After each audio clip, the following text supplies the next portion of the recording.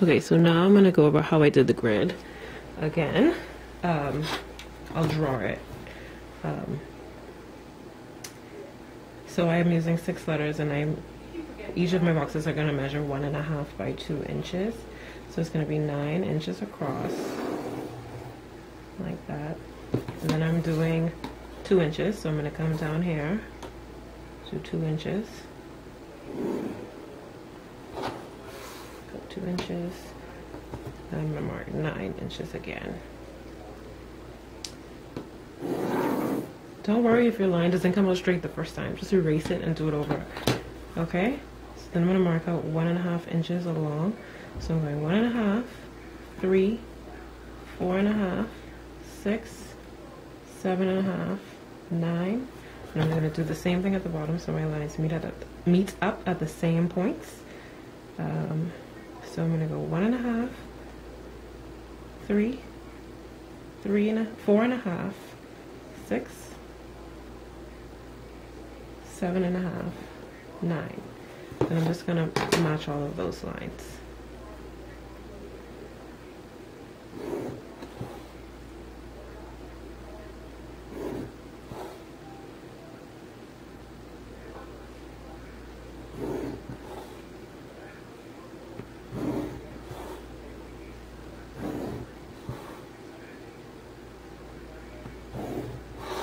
My boxes are nice and even like that.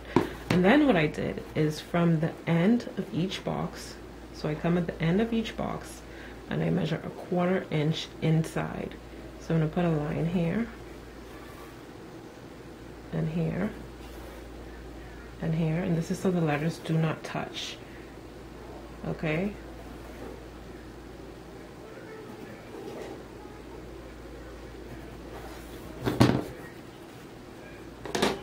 I'm just gonna lightly, I didn't do this lightly before, but I'm gonna lightly run the ruler through those lines.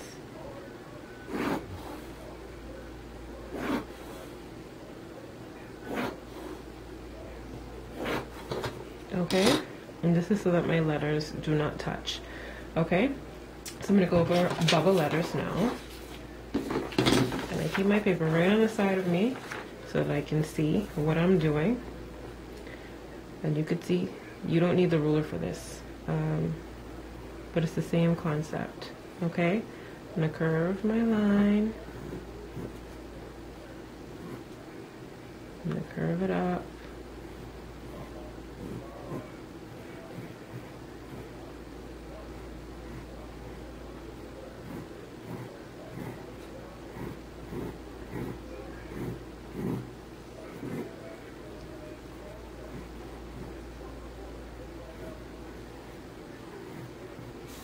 my A and my N is fairly simple.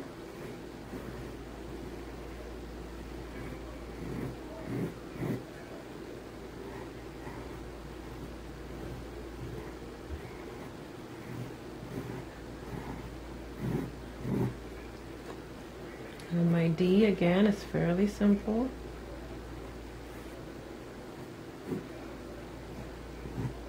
You want to leave the edge of the D straight so you can differentiate between a D and an O.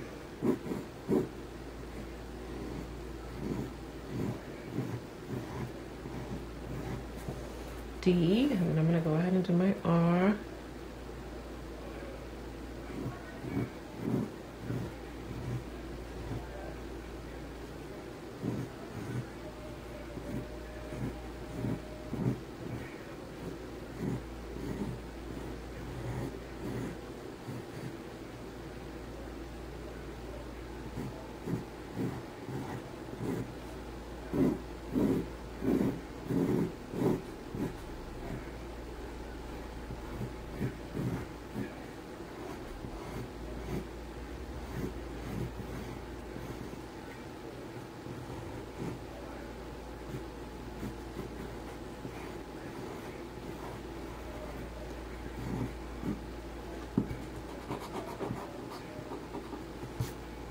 Then my O, which is really, really round.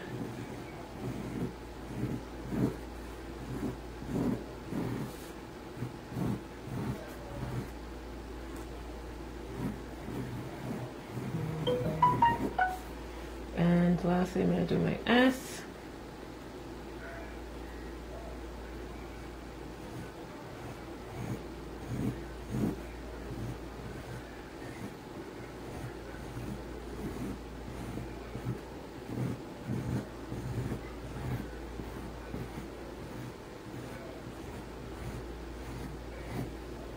And again with the S, you go back and you see where it needs to be fixed.